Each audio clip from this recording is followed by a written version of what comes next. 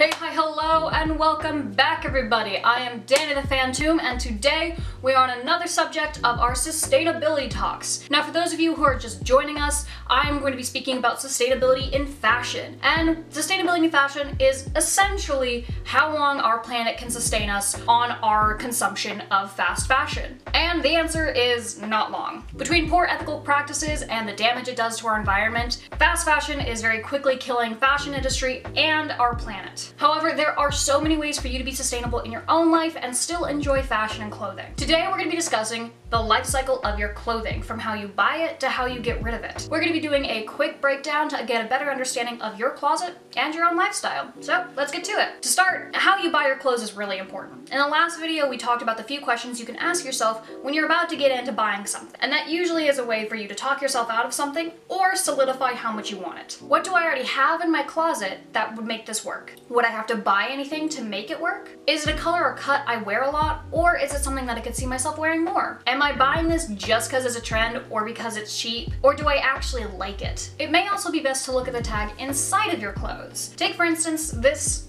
really weird sweatshirt I got at Papaya several years ago that I bought for a cosplay and I never used. However, if you look inside at the tag, you'll usually see the fiber content of it from anything from polyester to spandex to cotton. So mine is on the primary part, it is 96 polyester, 4% spandex, and the contrast is 62% polyester, 34% rayon, and 4% spandex, which means at the end of the day, this isn't really gonna biodegrade. You want to try and focus on buying more natural fibers like wools or cottons because at the end of the day, they will biodegrade. Polyester, spandex, and other synthetics aren't going to biodegrade as naturally, or if at all. It also helps that if you don't want to buy natural leather, to also steer, steer clear of vegan leathers. Despite the fact that vegan leathers uh, state that they are made out of plant fibers, the processes that they go through in order to be made into pleathers makes them a synthetic and they're not going to biodegrade as easily. And other vegan leathers are mostly plastics anyways, so you're not really gonna find something that's going to biodegrade at the end of the day.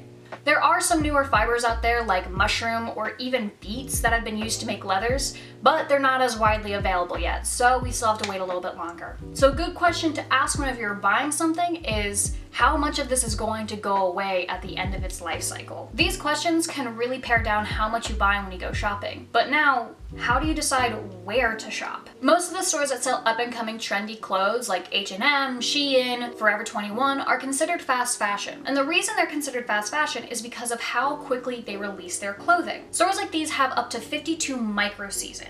Micro seasons are basically seasons in between the regular four seasons. One store I worked at had about eight seasons. It had the four seasons and then the four transitional seasons, which is pretty average. You want something to wear whenever you're transitioning between the seasons where it's a little too hot or a little too cold on random days, especially here in Georgia. So that's a little more understandable than 52 micro seasons. When companies release clothing this quickly, the trends they pick up on end up passing really quickly for the next new trend.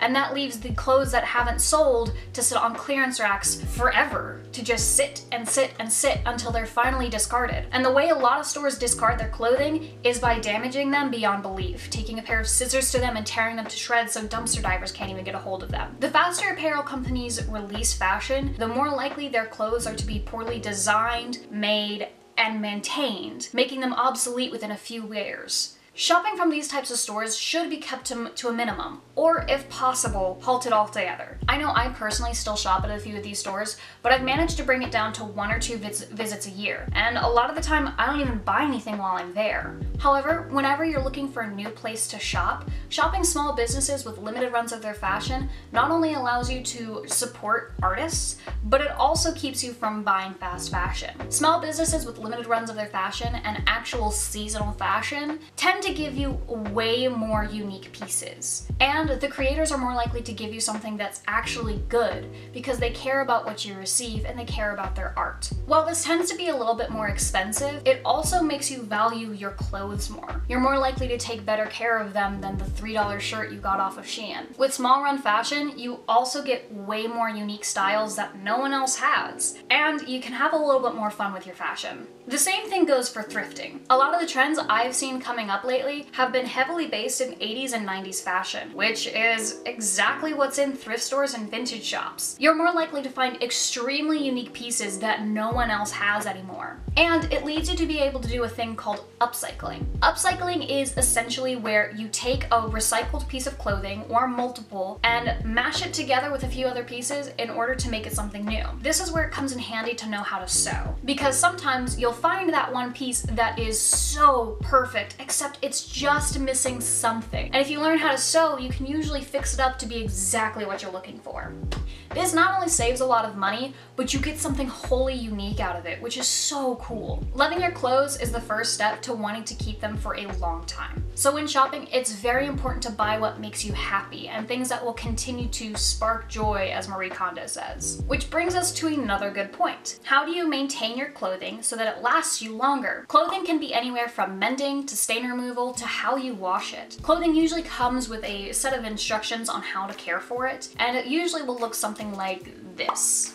However, it's usually better to wash your clothes fewer times within its lifetime. Most jeans don't require frequent washing. Things like t-shirts, workout gear, and underwear tends to need to be washed every time though. However, a way to make them last longer is instead of throwing them in the washer and dryer, try hand washing them. It also helps the fibers, especially in synthetics, last a little bit longer.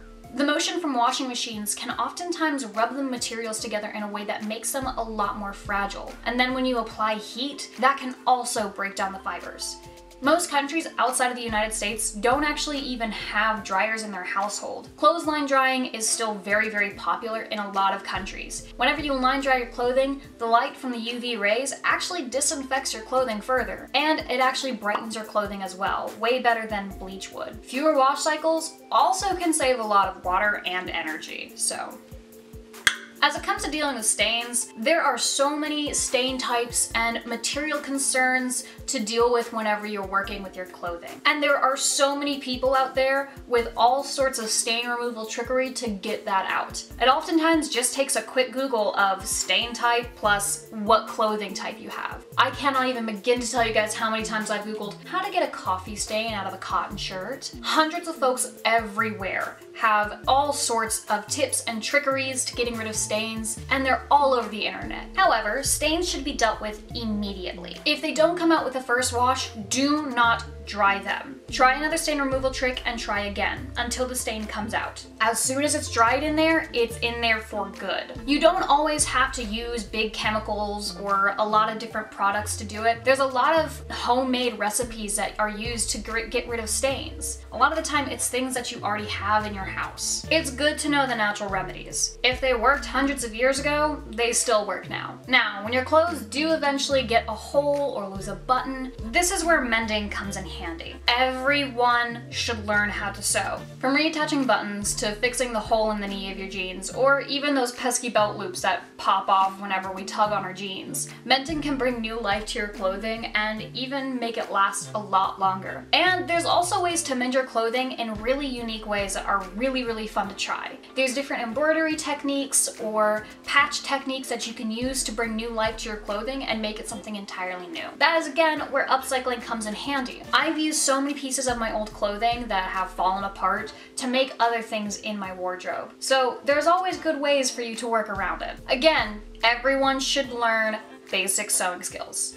Now what do you do if it's no longer sparking joy? What's to be done with these old clothes that we no longer wear? Most people go with the donation route. They send it off to Goodwill and just forget it ever happened, brush their hands off, and they're done. But a lot of people don't know how you're supposed to donate your clothes. When donating clothes, you really need to pay attention to how it's cared for. If it hasn't been washed recently, throw it in the wash really quickly to make sure it's still clean. Not only that, but make sure that any holes or missing buttons are reattached because a lot of the time donation sites will just throw them away if they're missing something like that. Any stains need to be taken care of and gotten rid of before you even think about donating them. And instead of donating them to places like Goodwill, which is known for its mistreatment of their disabled workers, or Salvation Army, which has been very well known for their homophobia and transphobia in the past, think of other places in your area that might need them. There's a lot of women's shelters in every state in every city that need extra clothing for women who have had to flee their homes. Homeless shelters always need clothing, especially during the wintertime. Helping your local houses people when they need it most is really important. And we also need to think about how many of those people can't get access to the resources we have. There's also queer homeless outreach program. These programs usually provide gender conforming clothing for people who've had to run away from home and are no longer able to take care of themselves or house themselves. But if you take a little time and do a little bit more research in your area, there's plenty of places that you can donate other than those two. Now, if it's something that you haven't worn very often and you feel like you haven't gotten your money's worth out of it and it's still good quality